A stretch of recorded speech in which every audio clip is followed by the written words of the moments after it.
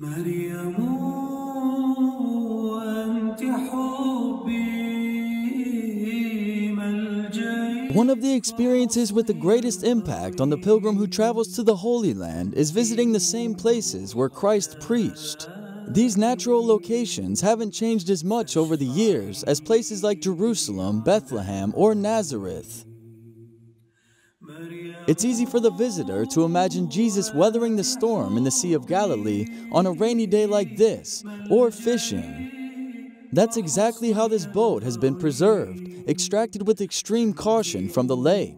It's dated to the first century, and its remains have been maintained thanks to mud that prevented its deterioration. This ship gives a clear idea of what the vessels were like when Christ sailed these waters accompanied by his disciples.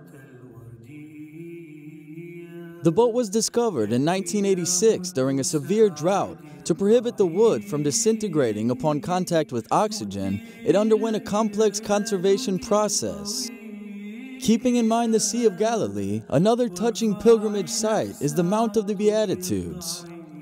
Many people here are moved to tears upon realizing that Christ gave the Sermon on the Mount here.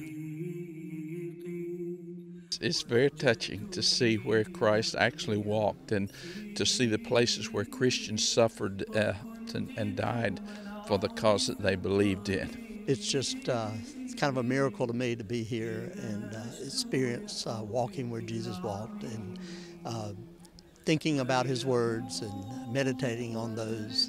And it just draws me closer to our Lord. I have a very sick father at home, and so to feel the presence of the Lord, it's comforting as, as I'm here walking in the footsteps of Jesus. I felt very comforted.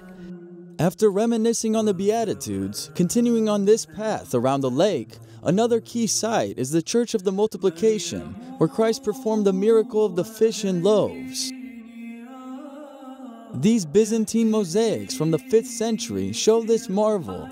In the basket, there are only four loaves, though the scriptures say there were five. It's this way because the fifth loaf is the loaf of life, Christ Himself.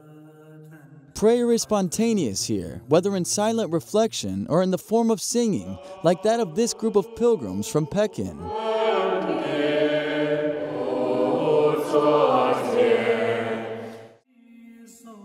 The last part of this journey is the River Jordan, which shares waters with Lake Tiberias. Here, pilgrims can be baptized in the same place as Christ himself. It's a river where, despite the passing of centuries, many can still lift the weight off their shoulders by beginning again after losing their way.